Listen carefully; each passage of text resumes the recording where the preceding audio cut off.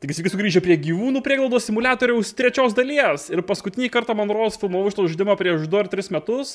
Ir aš žaidžiau pirmą žaidimo dalį, o dabar išėjo antra. Ir prieglaudą pavadinsiu Meumalas. Kodėl? Nežinau. Ir taip, kas nematėt pirmų dviejų serijų, grajaraštis yra dabar tame kamputyje. Gyvūnams reikia naujų namų, tu nupirkai apleistą sandėlį su vienu tikslu galvoje - paversti jį į prieglaudą. Ir suteikti naujus namus kaip manoma didesniam kiekiu gyvūnų. Renovuok prieglaudą ir padėk vienišiems, apleistiems ir sergantiems gyvūnams rasti sveikatą sveikatą, džiaugsmą ir mylinčius namus. Tai gerai, čia yra apleistas sandėlis pasirodo, nors čia net nelabai sandėlis, bet Evro žaidimas labai gražus, wow. Tai einam į vidų, einam pirmiausiai į vidų. O, oh, gerai, čia, čia tikrai sandėlis. Bet dar čia taip gerai apleistas sandėlis. Bet mes turim, žiūrėkit, kiemą. Gerai. Ir pirmiausia, mes turim apsivalyt. Gerai, šiukšlės į žemę tiesiog sumesim. Jėtus dar čia kiek šiukšlių. Bet žiūrėkit, ne vien šiukšlė, šitie pasirodo yra ne šiukšlės.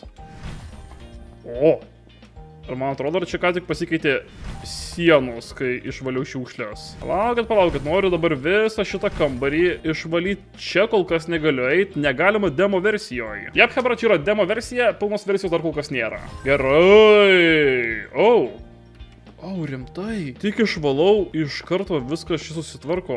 Tai matytose dėžėse yra nauji dažai, naujos sienos ir automatiškai išsidažo sienos, gerai. Čia liko viena šiukšlė ir Jo, viskas tampa gražu.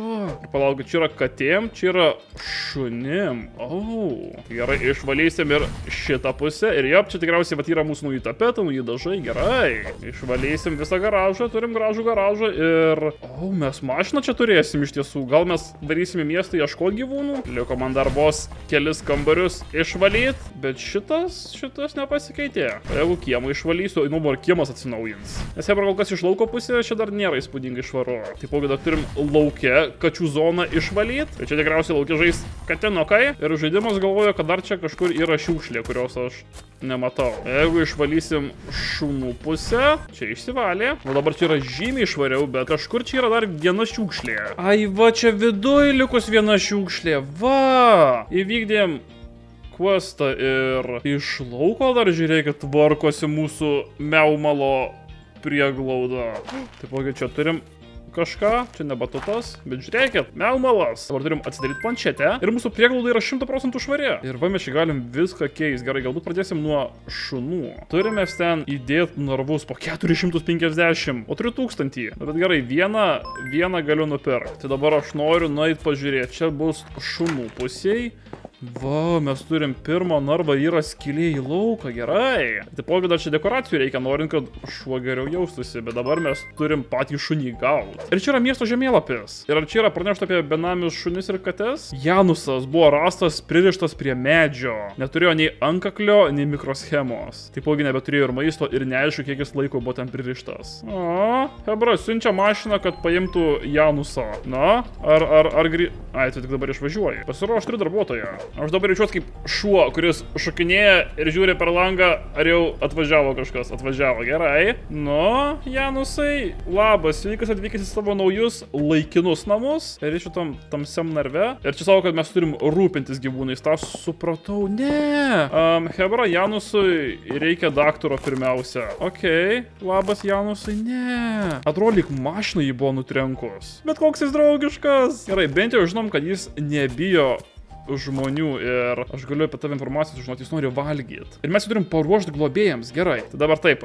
Janusai, ateik su manim, ateik su manim, tai padėsiu aš tai čia, uždarysim vartus, tai jisai kaip ir turi vietą laukia, bet turi vietą ir viduje. Dabar reikia daug dalykų nupirkti. Nupirksim ir maisto, ir vandens, ir dubenėlių. Ir kažkaip turiu daugiau pinigų. Gerai, gerai, svarbu turim pinigų. Hebra Manros dronas atskrido, dar taipogi jau vakaras, jau naktis. O kur nuleidžia siuntas? Gerai. Na, Janusai, aš užeisiu pas tave. Tu nesikandžiai, tu geras Janusas. Dabar žiūrėk, aš tau padėsiu Nu taip nenorėjau paimti. Aš noriu gražiai padėti. O kažkur čia. Ir dar kitą padėsim čia. Tuoj, tuoj įpilsiu, palauk. Įpilsiu vandens. Ir iš karto einu atsigert. Ir įdėsiu maisto. Skanaus, Janusai, skanaus. Tai kad aš nežinau, tau reikia daktaro Janusai, nes čia jau net odos trūksta, atrodo. Hebra, aš jį galiu paglostyti. Ir aš turiu įmiegot, bet aš noriu paglostyti Janusą Jėtus. Oi, patinka, patinka tau, ne? Oi, patinka, patinka. O, Hebra, jis labai laimingas. Gerai. Janusai, laikas eit miegot, bet man irgi laikas eit namo ir miegot, nes jau vėlus vakaras. Ir mes dirbam nuo 8 iki 4. Pasirodo, gerai, turėsiu minį. Dabar keliaujam namo. Antrą dieną. Tai keliaujam pas Janusą, žiūrim, ar jisai suvalgė viską, išgėrė. Žiūrėkit, pilni. O Janusas dabar laukia sėdi. Aš, aš Hebra jam nupirksiu žaislą. Taipogi mes galim čia ir vaistus pirkti, kol kas vaistų nėra, bet žaislų tik kamoliukas. Tai paimsim kamoliuką. Jau girdžiu droną, girdžiu droną. Ir... O, šaunuolis, ačiū dronai. Taipogi šitus vartus gal uždarysim ir aš atidarysiu šitus vartus. Janusai, aš noriu pažiūrėti tavo progresą. Hebra jis yra beveik pasiruošęs būti priglaustam. A girdė, einam su kamoliuku pažaisti. Nenori su kamoliuku pažaisti? Janusai, a, atneš kamoliuką, atneš kamoliuką. Atneš. Ateik, einam kilo, ateik čia, einam, girdė, einam, einam, einam čia būnam, būnam mes čia, mes žaisim dabar čia Janusai. O, o, žiūrėkit, jisai per naktį pagijo, atrodo, kailius žymiai gražesnis. Aš žinok, mėsiu toli. Oi. Oi, išmuši kamuolį man iš rankų. Duok kamoliuką. Aha, paimu kamoliuką. Eik paimk, eik paimk, eik paimk. O, ir atnešk, nu.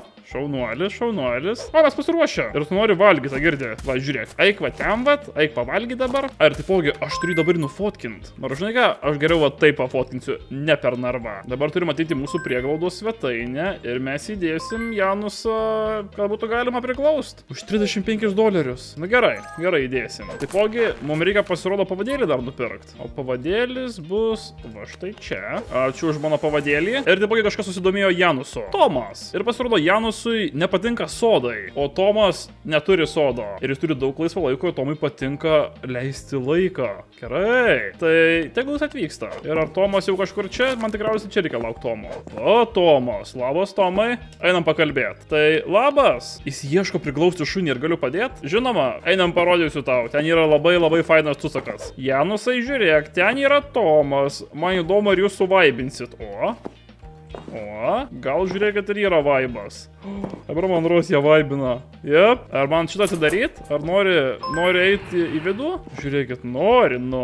Pabendraukit, pabendraukit dviese. Čia iš tiesų klientai bendrauja su gyvūnais. O šiek tiek patinka. Nu, nu, ką nusprendėjai? Ar, ar turi sprendimą? Taip. Tai kaip, ar paimsi? Paims. Tai dabar aš tave uždėsiu ant pavadėlio ir prašau, tau pavadėlis. Ir mes už tai gavom pinigų. Tai sėkmės Janus ir Tomai, sėkmės jums dviem. O mes dabar turime čia. Čia turim sandėlį, kuris yra užrakintas, turim ofisą užrakintą, veterinarą užrakintą, bet turim dušą, kuris yra atrakintas. Čia irgi reikia šiukšlės išmest. O, ir iš karto kitas reikalas, čia galėsim plaut gyvūnus. Bet dabar laikas eit namo, mes norim, norim mėgoti. Trečia diena. Tai dabar taip, mes vėl turim paim gyvūną. Hebra, aš galvoju, gal katę paimam? Jep, manau, paimsim katę. O, bet tik vienas šuo yra. Tai be reikalo. Čia yra šuo vardu Paku, kuris buvo atvestas po jo šeimininko mirties. Jis yra labai išsigandęs ir labai pasilgo savo buvusio šeimininko. A, tegul mašiną eina paim. Bet taipogi, aš noriu, aš noriu katiną rasti. Ir taipogi tas tusakas man dovana paliko ant grindų. Hmm,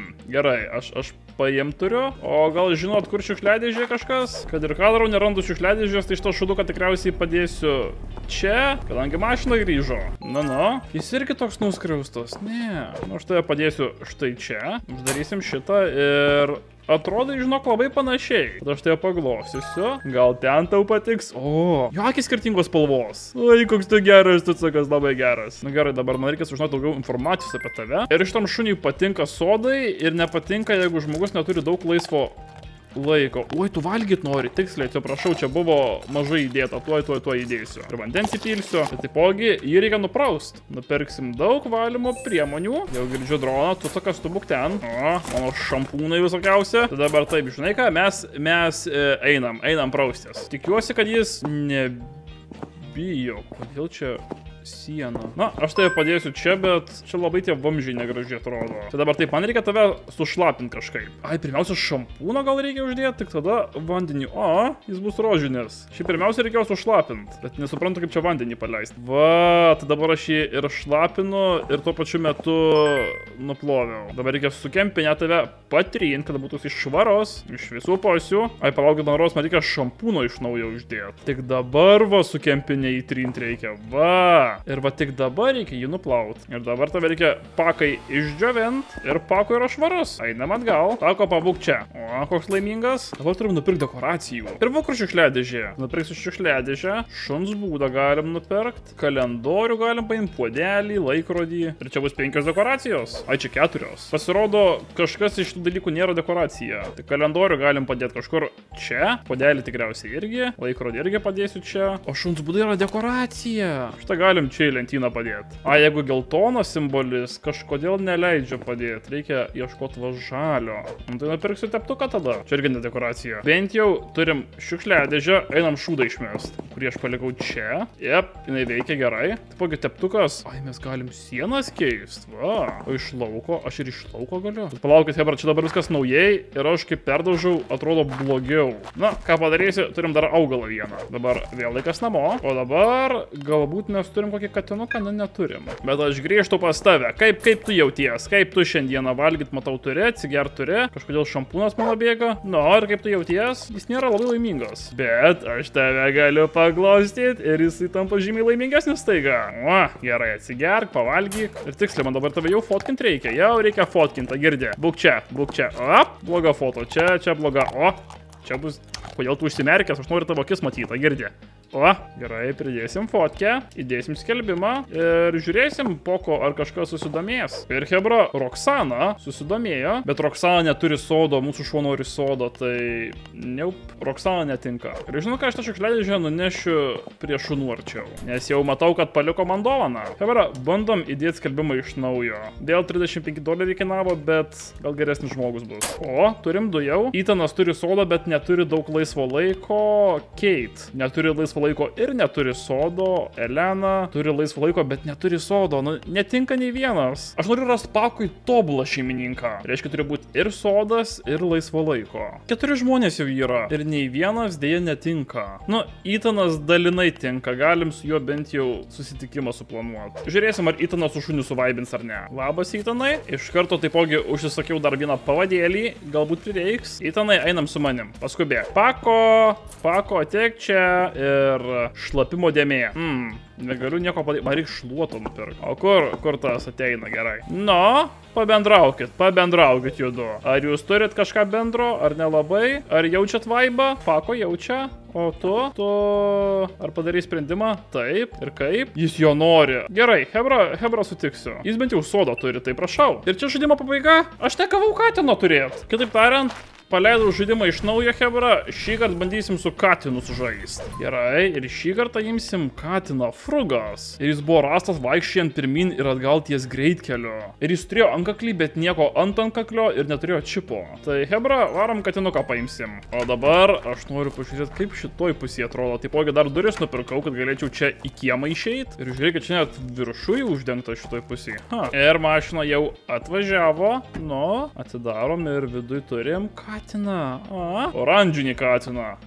Čia gali būti bėdų. Bet tave dabar reikia padėti čia laukia tikriausiai. Ne, frugai. Ne, ne, čia man reikia tave padėti į narvą. Va štai čia, va. Ir čia nuo šiol bus tavo narvas. Prašau, frugai. Frugai, aš tau turiu va kelis dubenėlius. Tai kad gal bendrai juos viduj dedam. Jep, čia yra žymiai, žymiai logiškiau. Įpilsim vandens. Ir dėsim kačių maisto. Frugai, ateik. Vaikas nem ne. Ar jis manęs bijo? Gerai, frogai, aš tave, aš tave paglostysiu, gal susidraugausim taip. Dabar frogai taip, eik pavalgyt, maisto yra, o mes varom namo. Ir dabar mes turim pirkti lazerį. Taip, man rodos, jeigu pirmiausia pasirinkti šunis, gauni visą demo versiją su šunim, bet jeigu pasirinkti kates, gausi viską su katėm. Tai gal nori ateiti pas mane va čia va į lauką, gal nori eiti su lazeriu pažaisti?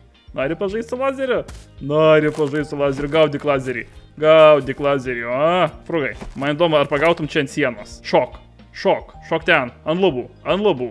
Neup, nesugeba. Nu gerai, gali pagauti. Žiūrėkit, pagavo. Bet prieš dedant tavo skelbimą, tau reikia eiti pavalgyti, katinas. Valgyk pagaliau. Ir atsigerk. Ir jis yra pasiruošęs naujiem šeimininkam. Ir kad jie nori, kad tiesiog šeimininkai turėtų daug laisvo laiko. Gerai. Taipogi pasirodo, man reikia dar pavadėlį pirkti. Ir radau Aleksandrą, kuri turi sodą ir daug laisvo laiko. Gerai. Ir Aleksandra jau atėjo. Labas, labas, pakalbam. Dabar einam su manim, tau parodysiu katinuką. Perspėju, jis oranžinis. Bet jis labai draugiškas, jis nedaro nesąmonių, ne frogai. Na, frogai, Aleksandra, susipažinkit, man įdomu, ar suvaibinsit. O, jau markė, o, suvaibinsit. Žiūrėkit, ant labai vaibino. Gerai, na, nu. Ir ką nusprendėjai? Jep, noriu paimti katinuką, gerai. Tai uždėsim pavadėlį, prašau to pavadėlis ir gali neštis. Nors aš realiai tiesiog katį rankas paimčiau, bet. Ir kita katė yra Felixas ir jo šeimininkas irgi numirė. Tai jep, čia iš esmės ta pati istorija, tik su kate. Bet kuriuo atveju, Hebra, šiam kartui aš manau, kad užteks visgi perėjau pilnai šitą demo versiją ir kai išeis pilna žaidimo versija, jeigu norit, na, ketvirtos dalies, arba teoriškai antros, kadangi būtent šitą žaidimą žaidžiu pirmą kartą, tai būtinai paspauskite mygtuką like, bei prenumeruoti, jeigu dar to nesate padarę, bet žiūrėkite, Hebra, šiam kartui buvo tikrai viskas, žinokit, na, ačiū, kad žiūrėjot. Su jumis buvo Edvis ir viso gero.